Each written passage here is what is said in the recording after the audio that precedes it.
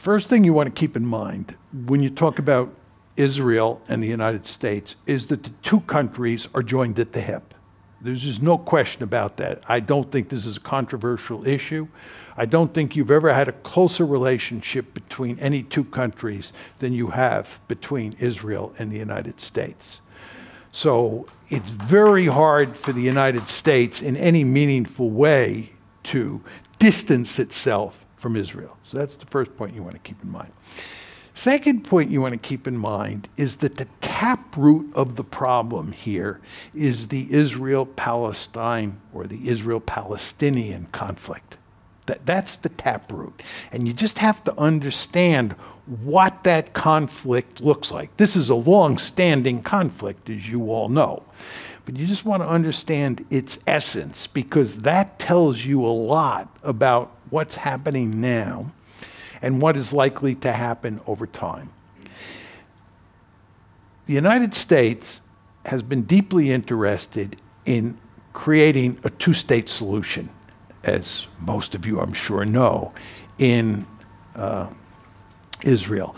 And what the United States has been interested in doing is creating a Palestinian state in the West Bank and in Gaza and in East Jerusalem, living next door to a Jewish state, Israel we have failed. We've not been able to push the Israelis to accept that, and uh, there's no two state solution.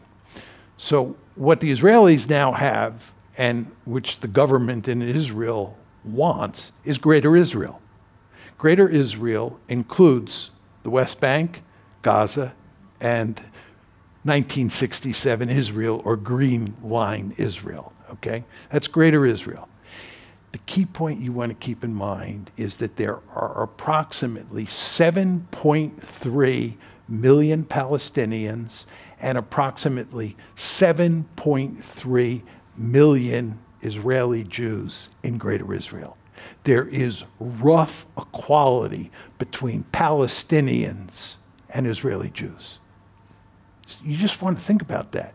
So when you think about Israel and you think about Israel as the Jewish state, which is completely understandable. You want to understand that that Jewish state has as many Palestinians in it as it has Jews. And by the way, there's a very prominent uh, demo, uh, demographic expert who is Israeli who argues that there are slightly more Palestinians than there are Jews inside Greater Israel.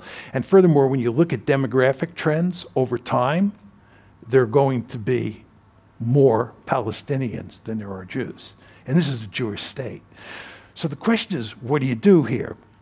Uh, and what has happened is that the Israelis do not want to give equal rights to the Palestinians.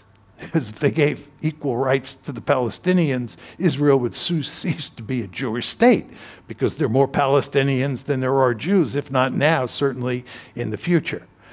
So, in the case of the Palestinians who are in Gaza, right, basically they have been cordoned off, they have been isolated in Gaza.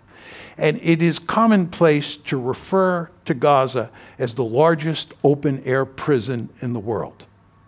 And if you read virtually any account of what life is like for those Palestinians who live in Gaza, it is absolutely horrible.